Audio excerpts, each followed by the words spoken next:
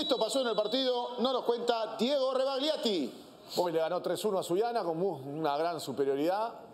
El equipo de Italo Manso sigue a buen paso. El de Vivas no lo encontró. Lugo, trabado por Álvarez, es dudosa la jugada, pero Suyana con el penal que tiene todos los partidos, tiene la fortuna de tener un penal a favor todos los partidos. Alianza Atlético, pero esta vez Perlaza lo falla, se adelanta el Pato Álvarez, no lo hacen repetir. Y luego viene esto. Tarek para Villamarín, Villamarín para Justin Alarcón, control de zurda, se la acomoda con la derecha y define de manera perfecta el número 30 del Boys. Un muy buen futbolista. Una pena que no vayamos a tener sudamericano sub-20, selección sub-20, porque este sería fijo ahí.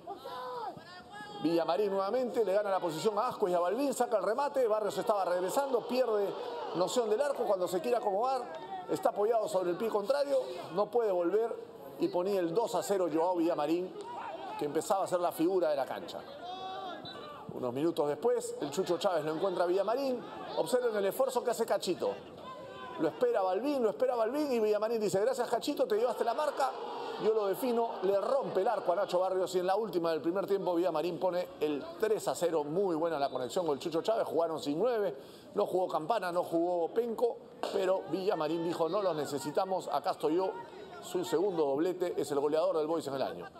Hacia el final se equivoca el Pato Álvarez, sale una pelota que no tiene que salir porque Torrejón la tenía controlada, se la deja Zafadi, Zafadi en el palo y en el rebote pone el descuento el 3 a 1 en el minuto 43 del segundo tiempo. Ya solamente era cuestión de dejar pasar el reloj.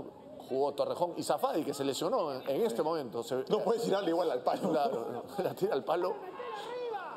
Y queda para esto, ¿no? El partido. Valencia, el chiquito que había entrado, la toca Guidino, como dice Jorge, y la frena un poquito y luego la salva de manera espectacular Guidino. La pelota no entró toda.